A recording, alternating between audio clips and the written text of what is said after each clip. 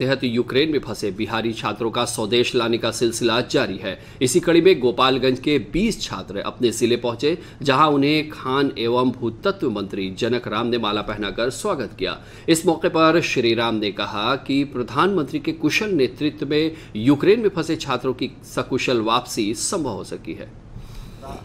खास करके बिहार के नौजवान।